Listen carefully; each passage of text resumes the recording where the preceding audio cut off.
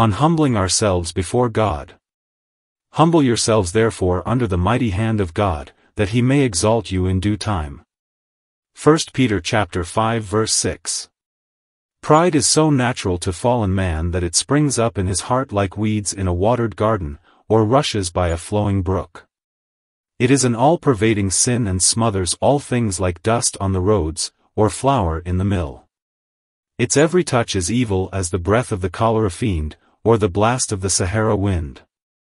Pride is as hard to get rid of as charlock from the furrows, or the American blight from the apple trees. If killed, it revives, if buried, it bursts the tomb. You may hunt down this fox and think you have destroyed it, but lo, your very exultation is pride. None have more pride than those who dream that they have none. You may labor against vainglory till you conceive that you are humble and the fond conceit of your humility will prove to be pride in full bloom. It imitates humility, but is most truly pride. Pride is a sin with a thousand lives. It seems impossible to kill it, it flourishes on that which should be its poison, glorying in its shame. It is a sin with a thousand shapes and by perpetual change it escapes capture. It seems impossible to hold a vapory demon slips from you, only to appear in another form and mock your fruitless pursuit. To die to pride and self, one would need to die himself. Pride was man's first sin and it will be his last. In the first sin that man ever committed, there was certainly a large mixture of pride, for he imagined that he knew better than his Maker and even dreamed that his Maker feared that man might grow too great. It has been questioned whether pride was not the sin by which the angels fell when they lost their first estate I will not go into any controversy upon that subject but there was certainly pride in the sin of Satan and pride in the sin of Adam. This is the torch which kindled hell and set the world on fire. Pride is a ringleader and captain among iniquitous it attains unto the first three of Satan's champions. It is a daring and God-defying sin, arraigning divine justice as Cain did, challenging Jehovah to combat as Pharaoh did, or making self into God as Nebuchadnezzar did. It would murder God if it could, that it might fill his throne. While it is first to come and first in horrible supremacy, it is also last to go. As Paul said, the last enemy that shall be destroyed is death. I think I might say that the last enemy but one is pride, for even at our deathbed pride will be found in attendance. In his last moments, John Knox had a sharp conflict with self-righteousness though he had preached against it with all his might and knew, with a clearness seldom given to men, that salvation is of the Lord alone. Even within an hour of glory he had to make a stand against that vile thing, the pride of the human heart. Many others of the Lord's valiant ones have been sorely assailed by the same crafty foe which shoots with feathered flatteries, shafts of destruction. In the most quiet minds the deadly calm of self-conceit may be found. Our hearts are deceitful above all things and in nothing less to be trusted than in this matter of pride. Even while we breathe out our souls unto God it will attempt to puff us yuppies, it will puff up poor dying worms. Brothers and sisters, for certain you and I are in danger of pride possibly we are even now victims of it. Let us be on our guard, for it may be ruining us without our knowledge, even as the moth in secret eats up the garment, or as unseen rust cankers the hidden treasure. Let pride lodge where it may, it does its entertainer great mischief, for it bars out the favor of God, God resists the proud. It must be sent adrift before God can visit us with favor, for no grace comes to the proud, but he gives grace unto the humble. Humility is the grace that attracts more grace. As money makes money, so humility increases humility and, with it, every other spiritual gift. If you would have much grace, have much humility. God has assistance for the humble, but resistance for the proud. You know how he fought Pharaoh. What blows he struck at the haughty monarch. He would have him down from the pinnacle of defiance, one way or another, and make him learn, in bitterness, the answer to his own insolent question, Who is the Lord? Remember how Nebuchadnezzar had to eat grass like an ox because he spoke with a haughty tongue? Wherever God sees pride lifting itself on high, he resolves to level it in the dust. He draws his bow, he fits his arrow to the string and pride is the target that he shoots at. The more pride enters into the Christian's heart, the less grace will enter there and the more opposition from God will come for pride is never so hateful to God as when he sees it in his own people. If you see disease in a stranger you are very sorry, but if you discover its symptoms in your own child, your grief is much more deep. A viper is loathsome anywhere, but how it would make you start if you saw the head of one of those creatures peeping out from the bosom of a beloved friend. So pride is detestable anywhere, but it is worst in those whom the Lord loves best. If God sees pride in a David, he will smite him till he ceases from his high thoughts. Or if it is in a Hezekiah, he will abase him and you can be sure that if the Lord sees pride in you, he will smite you. Yes, smite you again and again till you wait humbly at his feet. All this I have given by way of preface, but I think it is also an argument which may run before the words of the text and strengthen them. Humble yourselves, therefore, under the mighty hand of God. I shall handle the text, not at any great length, but for practical purposes in three or four ways. May the Holy Spirit bless the discourse. First, our text is evidently intended to bear upon us in our church life. We will use it in that respect. Observe that Peter has been speaking to the elders and telling them how they should behave themselves in the flock over which they are set as overseers. Then he speaks to the younger members and says, Submit yourselves unto the elders. He says to all church members, All of you be subject, one to another, and be clothed with humility. And it is in the same context that he writes, Humble yourselves therefore under the mighty hand of God. I am, as a member of a church, not to seek honor for myself, but I am to walk humbly. I am not to make it in any respect the objective of my Christian life to be esteemed among my fellow Christians so as to have influence over them and to take the lead among them. I am to have far humbler motives than that. I am to think very little of myself and to think so much of others that I admire all that I see of God's grace in them and am glad to learn from them as well as to help them in their progress to heaven. Each one of us should think little of himself and highly of his brothers and sisters. I cannot say that all of us, as Christians, are clothed with humility as we should be. I am afraid that from the preacher down to the most obscure member, we may, every one of us, listen with awe to the injunction, humble yourselves under the mighty hand of God. And I am afraid that all of us can confess that we fall short of this command. Yet I may honestly add that in this church I have seen more submissiveness, deference to others and less of ambitious self-esteem than anywhere else in the world. I have spoken nothing less than bare justice when I have said this. Let all the world know that as a pastor I can, in this point, praise the people of my charge beyond any that I have ever heard of. I am not apt to judge too favorably I speak as I have seen and this is my honest testimony. We owe our union and prosperity under God to the readiness of most of the brethren to do anything and everything for Christ, without considering ourselves.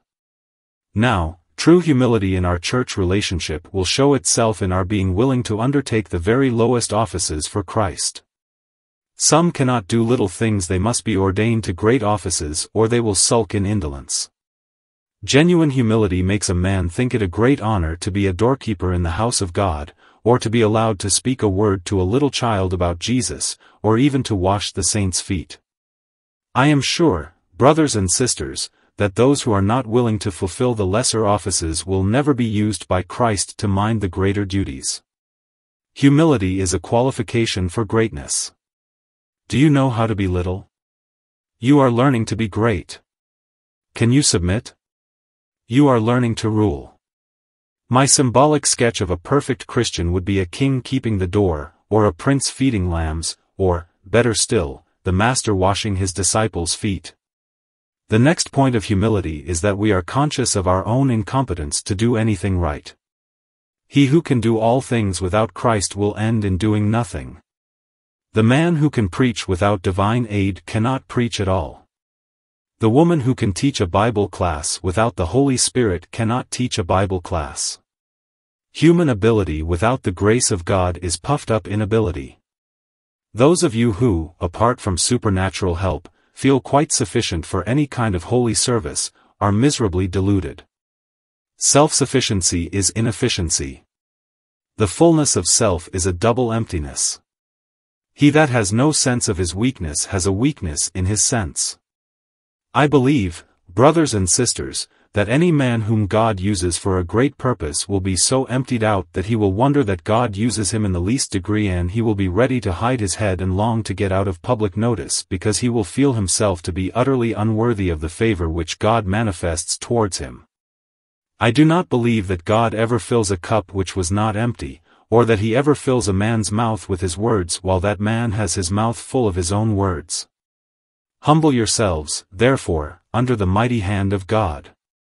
If you desire that the Holy Spirit should bless you, be purged from your own spirit. The way to rise into God is to sink in your own self. As our Lord Jesus descended into the depths, that he might rise above all things and fill all things, so we, in our imitation of him, must descend to the uttermost that we may rise to the highest. This humility will show itself, next, in that we shall be willing to be ignored by men.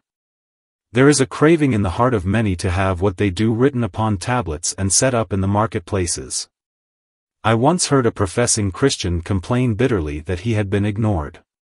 He had been a Sunday school teacher for years and yet he had never been publicly mentioned by anyone.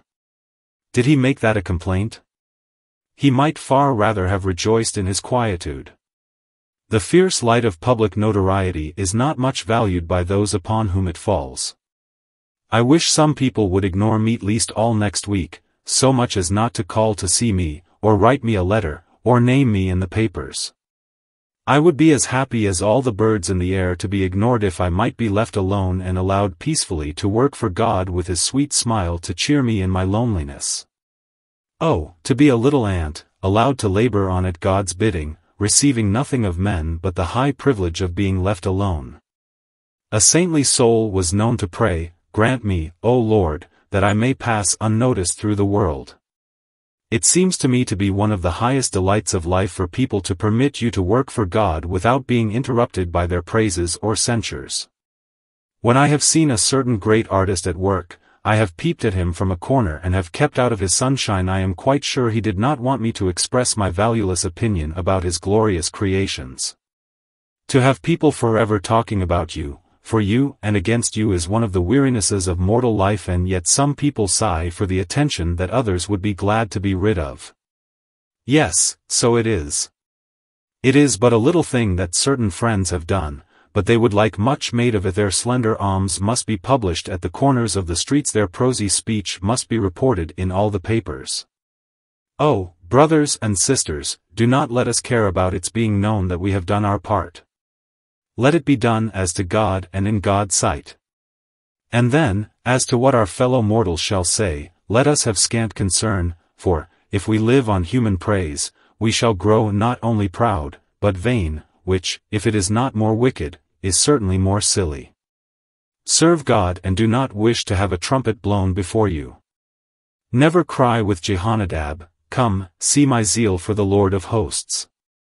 Go on serving God year after year, though you are altogether unknown, feeling it quite sufficient that you have, by the grace of God, served your generation and honored your Redeemer. This would be a great attainment in our church life if we could reach to it. Brethren, we need humility, all of us, in our church life, in the sense of never being rough, haughty, arrogant, hard, domineering, lordlier, on the other hand unruly, quarrelsome and unreasonable. We should endeavor to think very carefully of those who are poor, for fear we should hurt their feelings. And we should be very noticeable of those who are obscure, lest we should seem to despise them. It is ours never to take offense and to be most cautious never to cause it even by inadvertence.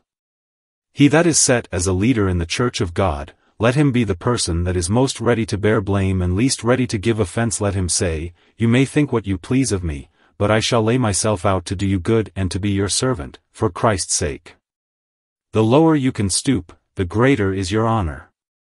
In the eyes of wisdom, no piece of furniture in the house of God has greater dignity than the doormat. If you are willing to let others wipe their feet on you, then shall Christ Jesus take pleasure in you, for you are a partaker of his lowly mind. Even for your own sake it will be wise to occupy a humble place, for in the valleys the streams of peace are flowing. The mountains are the playgrounds of the storm, but in the quiet villages the dove finds her shelter. If you would escape from ill will and live peaceably with all men, practice the maxims of an influential man, who, when asked, after the revolution, how he managed to escape the executioner's axe, replied, I made myself of no reputation and kept silent. I am speaking to a number of young men who have begun to speak for Jesus Christ in the church let me earnestly entreat them to take great notice of my text humble yourselves under the mighty hand of God. Remember, you cannot do any good unless the mighty hand of God is with you. Therefore be humble and look to his hand for all success. Feel it to be a wonderful thing that the mighty hand of God should ever use you and, therefore, lie very low in that hand, and beneath that hand, for then you may claim the promise that he will exalt you in due time. If you are willing to look after a few poor people in a village and to do your duty thoroughly well among a lowly company, you shall have a larger sphere before long. If you are satisfied, young brother, to stand in the corner of the street and talk about Jesus Christ to a few rough folk, you shall find hundreds of hearers, by and by. If you are willing to be nothing, God will make something of you. The way to the top of the ladder is to begin at the lowest rung. In fact, in the Church of God, the way up is to go down and he that is ambitious to be at the top will find himself, before long, at the bottom.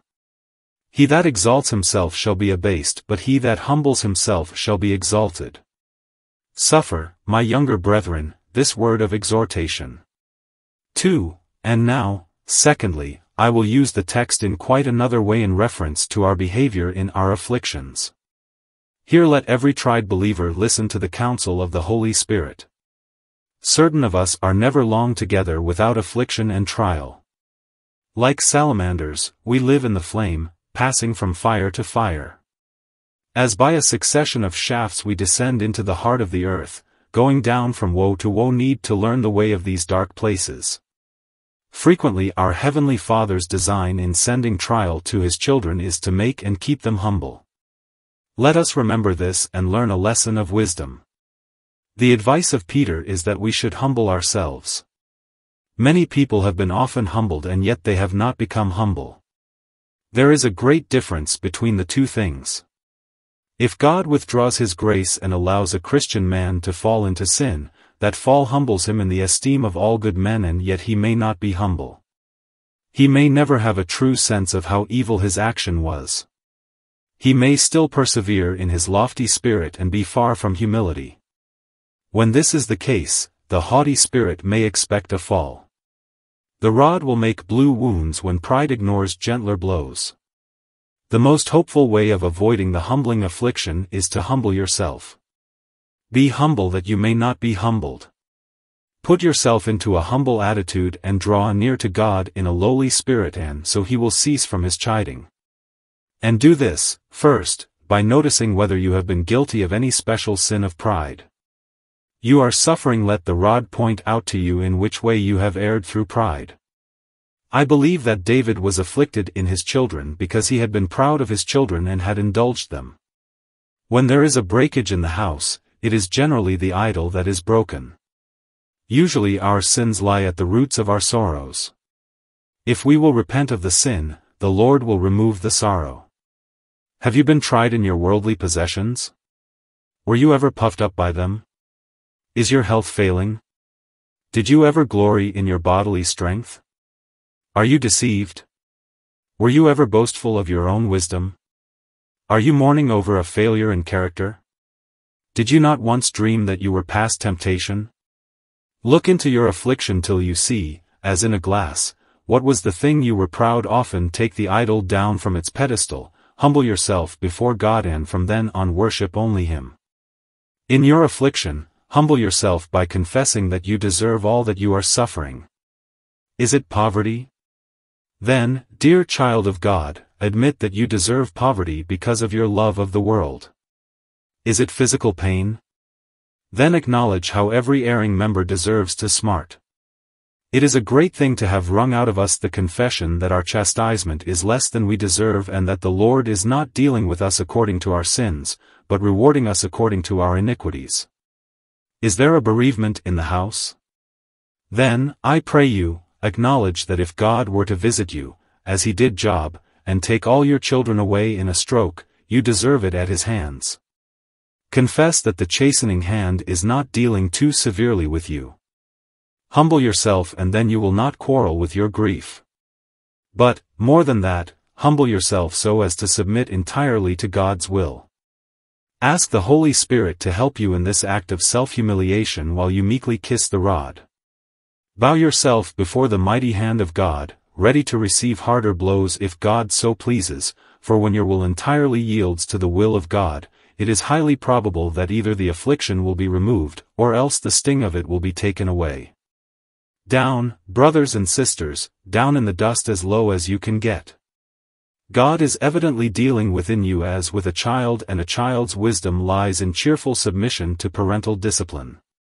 When a child is under his father's chastening hand, it will not help him to kick, quarrel and say anything his best hope lies in submitting absolutely to his father's good pleasure. When that is done, the chastisement will soon end. Humble yourself, therefore, under the mighty hand of God. Yield up your will so as to have no suit in law against the Lord no difference as to his goodness, not even if the evil you dread should actually come and come in the worst form. Submit to the Lord's will as the rush bends to the wind, or as the wax yields to the seal. Pray against the calamity which moves you to fear, but let your petition always end with, Nevertheless, not as I will, but as you will. Ask that you may not be obliged to drink the bitter drink, but do not upset the cup, nor push it away. There let it stand, while you, for the moment, supplicate for its removal. And when there comes no answer to your prayer, then take it up meekly, put it to your lips resolutely, and drink right on, even as your master drank his cup and drained it to the dregs. This needs the help of the Holy Spirit and truly he waits to help us he delights to aid us in such holy acts of submission. Nothing is better for us in our time of tribulation than to bow ourselves in lowliest obeisance before the hand of God. Dear friend, what can be the use of striving against the hand of the Lord? It is a mighty hand we cannot resist it, even if we are wicked enough to attempt rebellion. If affliction is to come, it will come, and come with all the greater sharpness because we refuse to yield. If God appoints a trial, we cannot escape it. What can be the use of our striving against divine decrees? It will only make our sorrow more severe. When the ox kicks against the goad, the iron enters deeper into its flesh, but when the bullock hastens on its way, sensitive to the least touch, the driver scarcely urges it again. The tender, sensitive horse scarcely receives a stroke from the whip, he feels it too much. But the mule that will not move is struck again and again for his obstinacy so will it be with us. We can make rods for ourselves by willfulness. O foolish fingers which prepare thorns for our own pillows. Humble yourself, therefore, under the mighty hand of God and, by and by, brothers and sisters, you shall be exalted to consolation and prosperity. Your affliction shall bring forth the comfortable fruits of righteousness. You shall come out of the furnace purified and refined. You shall have more knowledge, more grace, more zeal, more of every excellence as the result of sanctified trial but all this must come by obedient resignation. A rebellious heart comes out of affliction worse rather than better. Submit, and you shall be so exalted by your affliction that you shall bless God for it, and feel that you would not have missed the trouble for ten thousand pounds if you could have done so. Heavy tribulation shall bring with it unspeakable preferment. You shall be exalted to a higher degree in the peerage of Christianity by putting up with adversities. Therefore, I pray you, humble yourselves under the hand of God. 3. Thirdly, I am going to use the text in another way. In our daily dealings with God, whether in affliction or not, let us humble ourselves under His hand, for only so can we hope to be exalted. It is a blessed thing whenever you come to God, to come wondering that you are allowed to come, wondering that you have been led to come marveling at divine election, that the Lord should ever have chosen you to come wondering at divine redemption, astonished that such a price should have been paid that you might be brought near to God. It is well to draw near to God weighed down with gratitude that the Holy Spirit should have ever deigned to work effectual calling upon you. Humble yourself under the mighty hand of divine grace which has brought you into the family of love constantly say, Why me, Lord? Why me? A grateful walk is a gracious walk and there is no gratitude where there is no humility. Never trace the difference between yourself and others to your own free will, nor to any betterness of your natural disposition, but entirely to the mercy and grace of God which have been freely bestowed on you. Let grace be magnified by your grateful heart. When you are doing this, be very humble before God because you have not made more improvement of the grace that He has given you. You are chosen, but you are not as choice as you ought to be. You are redeemed, but you are not so much your Lord's as you ought to be. You are called, but you are still too deaf to the divine call. You are blessed, enriched, instructed, adopted, comforted with heaven before you and everything prepared on the road but what a poor return you have made. Always feel thus humbled in reference to your God and His grace. When you are doing most and God is using you most, always feel that if you had been fit for it, He might have done much more by you that if you had been meet to be used, He might have used you far more extensively. Thus you will always see cause for humility, even when you discern abounding reason for gratitude. Walk always so with God that when you stand on the highest point you still feel, I might have been higher but for my own fault. I have not, because I have not asked, or because I have asked amiss. I have not become as rich as I might have been in spiritual things because I have not been as diligent in my Lord's business, or as fervent in spirit, or as abundant in serving God as I ought to have been. Next, humble yourself, dear brothers and sisters, under the hand of God by feeling your own need of knowledge whenever you come to God. Do not think that you understand all divinity.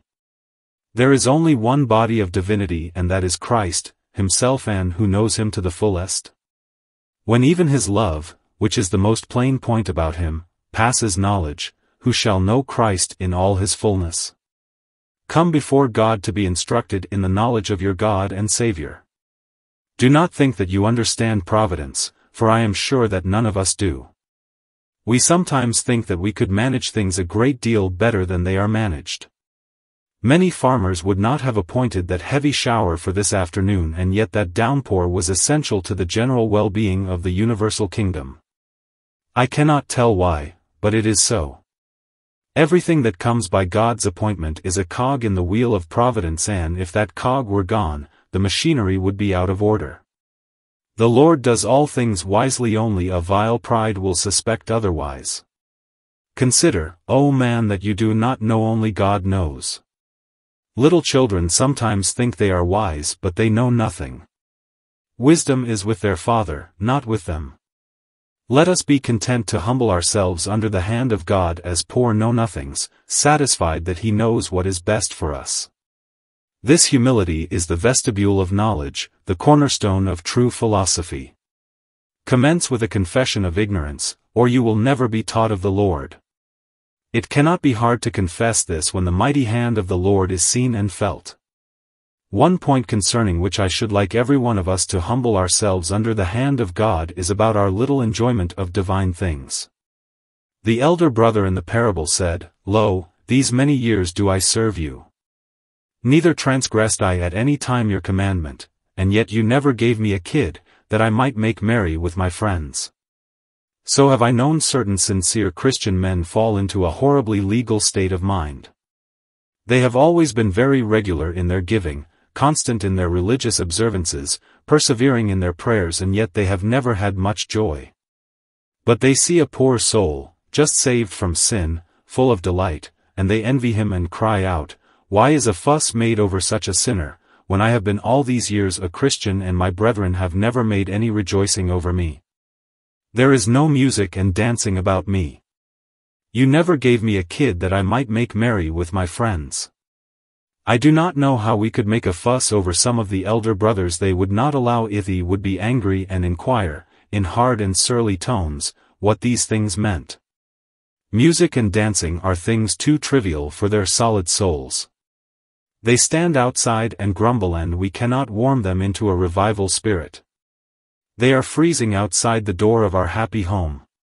Must they always stand there? How divinely sweet was the father's answer to that naughty elder brother. He said to him, Son, you are always with me and all that I have is yours. That is to say, you live in my house. You are with me as my own dear son. Everything I have is yours by heirship. Your brother had his portion and he spent it, but all that remains to me is yours. Hence his short commons had been of his own appointing. If he had not made merry with his friends, it was his own fault. Is it not much the same with us if we have been dull and melancholy? I mean those of us who are believers. Are not all things ours? Come, let us humble ourselves under the hand of God because we have not made merry with our friends. You growling Christians if you growl it is because you will growl there is nothing to growl at. You who never have a happy day, who never have any of the fervor and enthusiasm of young beginners whose fault is that? It is your own. You might have anything in the Father's house. You have a right to rare music and dancing, for you are always with God, and all that He has is yours. It is meet that we should make merry and be glad. And if we are dull at the business of holy merry-making, let us humble ourselves under the hand of God because of our despondency and mistrust. O my soul, if your ceilings are painted with black instead of vermilion, blame only yourself not your God. I am sure, dear friends, if any of us will go over our daily lives, we shall find plenty of reasons for humbling ourselves under the hand of God. It is really dreadful how a man can serve God nobly and do great things and yet, in a certain matter, he may sadly fail. A grand old prophet is that Jonah, going through the streets of Nineveh and bravely delivering the Lord's warning. Whoever did the same? Yet forty days and Nineveh shall be overthrown are the words which he hurls into the face of princes. Grand man. 1. Yet a conqueror of myriads. Yes. But look at him a day or two later. Call that a grand man sitting there crying because the cucumber that grew up over his head is withered? He is fretting because a worm has devoured a gourd. He is angry and he says that he does well to be angry about a couple of melon leaves. Dear me, that a man can be so great in noble things and so little in a trifling matter. How many have the same cause to be humble before God? Observe that good Manha bore the loss of his property with holy resignation, but he lost his temper because a button was undone from his linen. Such a thing has often happened. Do I put it so that you smile at it? It would be better to weep over it. As you think about yourselves, my brothers and sisters, remember the causes that you have to be humble under the hand of God because of the gross weakness by which you have shown the natural depravity of your heart and the faultiness of your nature apart from the strengthening Spirit of God. Humble yourselves, therefore, under the hand of God as creatures under the hand of the Creator. We are the clay and you are potter, O Lord. It becomes us to be lowly. Humble yourselves under the hand of God as criminals under the hand of their judge. Cry, against you, you only, have I sinned and done this evil in your sight, that you might be justified when you speak and be clear when you judge. Humble yourselves under the hand of God as chastened children under a father's rod, for he chastens us for our profit and right well do we deserve each smarting blow. Humble yourselves under the mighty hand of God, lastly, as servants under their Lord's word. Ask no questions about your master's command, but go and do it. And when he rebukes you for shortcomings, answer not, but accept the reproof with bowed head and tearful eyes, acknowledging that his rebuke is well deserved. Humble yourselves thus, dear brothers and sisters, in your daily lives and God will exalt you in due time. 4. I finish by using my text with all the earnestness my soul can feel in reference to the unconverted part of this audience INR seeking forgiveness as sinners. Oh, tender Spirit of God, help me. The text was not originally meant for the ungodly, but it may fitly be applied to them. If you would find grace in God's sight and live, dear unconverted hearers, you must humble yourselves under the mighty hand of God. So you want to be saved, do you? The way of salvation is, believe in the Lord Jesus Christ. But, you say, I do not understand it. Yet it is very simply no hidden meaning lies in the words you are simply bid to trust Jesus. If, however, you feel as if you could not do that, let me urge you to go to God in secret and admit the sin of this unbelief, for it is great sin. Humble yourself. Do not try to make out that you are good. That will be fatal, for it will be a falsehood which will shut the gate of grace. Confess that you are guilty. When a man is clearly and manifestly guilty, it is of no use his standing before the judge and beginning to urge his own merit his best course is to cast himself upon the mercy of the court. It is your only course, dear soul, the only one that can be of use to you. Know that you have transgressed and feel that it is so. Sit down and think over the many ways in which you have done wrong, or failed to do right. Pray God to break you down with deep penitence. It is no waste of time to dig out foundations when you build a house, and it is no superfluity to labor after a deep sense of sin. When your sin is confessed, then acknowledge that if justice were carried out towards you, apart from undeserved grace, you would be sent to hell. Do not quibble at that fact. Do not entertain skeptical questions as to whether there is a punishment for sin and as to what it will be, but acknowledge that whatever it is, you deserve it. Do not fence with God or quarrel with Scripture, but as His word declares that the wicked shall be cast into hell with all the nations that forget God, admit that you deserve to be so dealt, for you deserve it. When this is acknowledged, you are on the road to mercy. You have almost obtained mercy when you have fully submitted to justice. You have, in a measure, received grace when you are brought to admit your sin and the justice of its penalty. Then, next, accept God's mercy in His own way. Do not be so vain as to dictate to God how you ought to be saved. Be willing to be saved by free grace through the blood of Jesus Christ, for that is God's way. Be willing to be saved by faith in Jesus Christ, for that, also, is God's way. If your unbelief begins to ask, how can it be and why should it be? Cease from such questions. Humble yourself and say, God says it is so and, therefore, it must be so.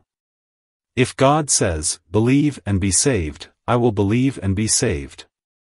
And if he says, trust Christ, and live, I will trust Christ and live. If a man had forfeited his life, but should be told by the court that he shall have pardon freely given to him if he will freely accept it would be a fool if he began to inquire, but is this according to law? Is this according to precedent? What may be the effect of this pardon? And so on. These inquiries are for the court, not for the prisoner. My dear sir, you do not want to hang yourself, do you? Yet some men argue against their own souls and labor to find out reasons why they should not be saved. If this perverse ingenuity could but be taught right reason and men would strive to find out why they should at once yield themselves to God's way of salvation, they might enter into comfort and rest much sooner. O quibbling sinner, let your artful doubts and reasoning be nailed with Jesus to the cross. Be a little child and come and believe in the salvation which is revealed in Jesus Christ. Trust Christ to save you and he will do it, as he has saved so many of us to the praise and glory of his grace. Ah, you say, I have done this, but I cannot get peace. Then dear friend, sink lower down. Sink lower down. Did I hear you say, alas, sir, I need to get comfort? Cease from that. Do not ask for comfort ask for forgiveness and that blessing may come through your greater discomfort. Sink lower down. Sink lower down. There is a point at which God will surely accept you and that point is lower down. Oh, you say, I think I have a due sense of sin. That will not do. I want you to feel that you have not a due sense of sin and come to Jesus for it. Oh, but I think that I have been broken-hearted. I should like to see you lower than that, till you cry, I am afraid I never knew what it was to be broken-hearted. I want you to sink so low that you cannot say anything good about yourself no, nor see an atom of goodness in yourself. When you look inside your heart and can see nothing but that which would condemn you. When you look at your life and see everything there that deserves wrath then you are on the road to hope. Come before God a criminal, in the prison dress, with the rope about your neck. You will be saved, then. When you confess that you have nothing of your own but sin. When you acknowledge that you deserve to die and to be cast away forever God, in infinite pity, will let you live through faith in Christ Jesus. Many years ago a certain prince visited the Spanish galleys where a large number of convicts were confined, chained to their oars to toil on without relief. I think nearly all of them were condemned to a life sentence. Being a great prince, the king of Spain told him that he might, in honor of his visit, set free any one of the galley slaves he chose. He went down among them to choose his man. He said to one, Man, how did you come here? He replied that false witnesses swore away his character. Ah! said the prince and passed on. He went to the next, who stated that he had done something that was certainly wrong, but not very much, and that he never ought to have been condemned. Ah, said the prince, and again passed on. He went the round and found that they were all good fellows all convicted by mistake. At last he came to one who said, You ask me why I came here? I am ashamed to say that I richly deserve it. I am guilty, I cannot for a moment say that I am not. And if I die at this oar, I thoroughly deserve the punishment. In fact, I think it a mercy that my life is spared me. The prince stopped and said, It is a pity that such a bad fellow as you should be placed amongst such a number of innocent people. I will set you free. You smile at that, but let me make you smile again.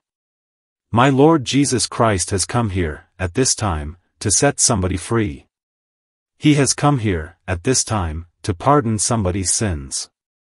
You that have no sins shall have no pardon. You good people shall die in your sins. But, you guilty ones, who humble yourselves under the hand of God, my master thinks that it is a pity that you should be among these self-righteous people. So come right away and trust your Savior and obtain life eternal through his precious blood. And to him shall be glory forever and ever. Amen.